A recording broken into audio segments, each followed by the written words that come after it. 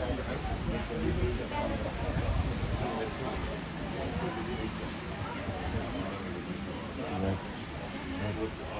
I'm sitting in the coffee shop. And next is going to swim after